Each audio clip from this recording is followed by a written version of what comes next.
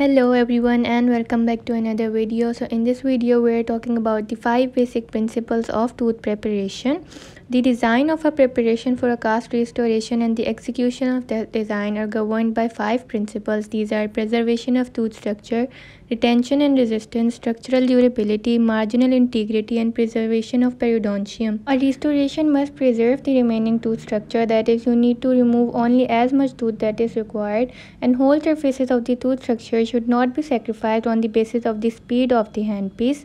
And one thing you need to be cautious about that there should be no pulp exposure. But if due to any iatrogenic factor the pulp get exposed so this is what a pulp exposure looks like during a, a crown preparation. Here you can appreciate a red spot on the peg shaped lateral incisor that is to be replaced by a crown if we talk about the strategies that you can apply to avoid this kind of pulp exposure is so you can use a good handpiece and a new burr that can save you from pulpal exposure and you must inform the patient beforehand that the pulp might get exposed and you might be sent for an elective RCT. So this point sums up our preservation of the periodontium and now moving toward the second point that is retention and resistance. So retention, uh, talking about retention, what is retention? Retention actually prevents removal of restoration along the path of insertion or long axis of the tooth. In simple words, you can say the quality to resist the vertical forces that is forces that are acting away from the occlusal forces of displacement is retention. To understand what vertical forces mean is that for example, if if you imagine a patient chewing a gum or any eating any sticky uh, food so you don't want the denture to come out because of the sticky nature so these are the forces that are acting away from the occlusal surfaces and this is what retention is called now that we have defined retention, let's define resistance. Resistance actually prevents the dislodgement of the restoration by forces that are directed in apical, horizontal or oblique direction and prevents any movement of restoration under the occlusal forces. We study retention and resistance together because retention and resistance are interrelated and inseparable quantities. So you can say as good as the retention, the resistance will be good too. That is, they are directly proportional to one another. Because retention and resistance are directly proportional to one another, we are going to study the same factors for both the qualities. The essential element of retention is two opposing vertical forces of the same preparation. These surfaces may be the external surfaces such as buccal and lingual walls of a full coverage crown in extracoronal restoration and this kind of retention in an extracoronal restoration is called sleeve retention.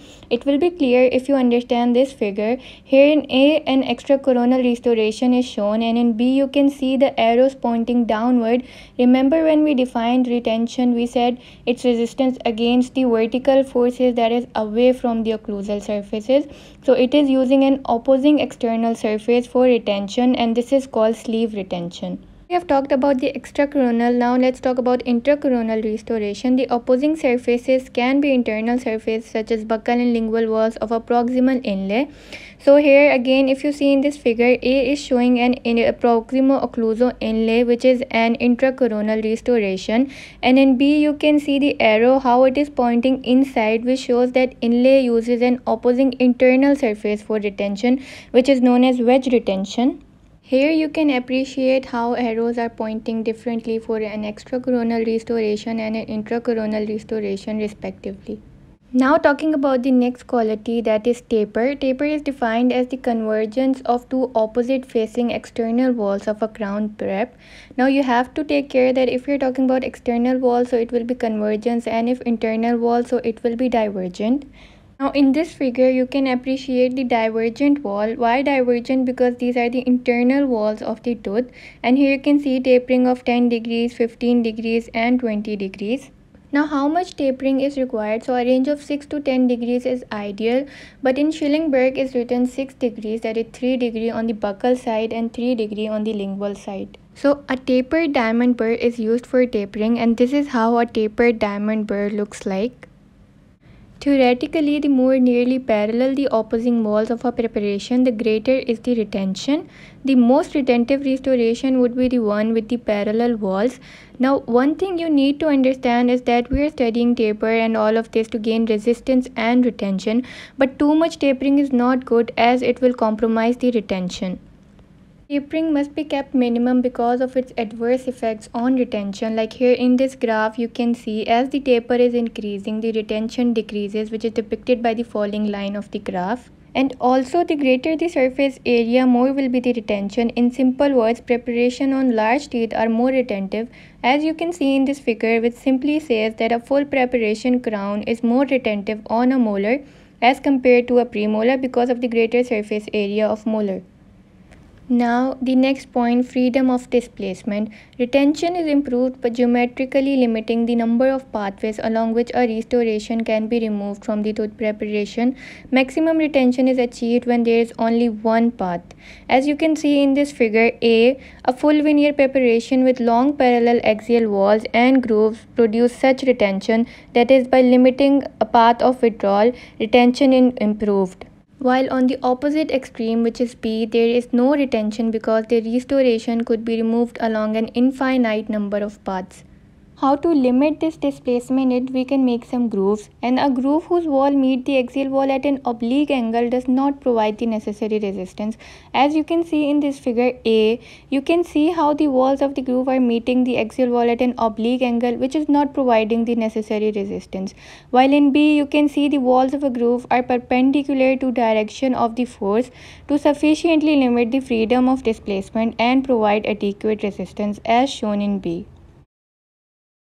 The next factor for retention and resistance is length. The occlusogingival length is an important factor in both retention and resistance. The longer preparations will have more surface area and therefore will be more retentive.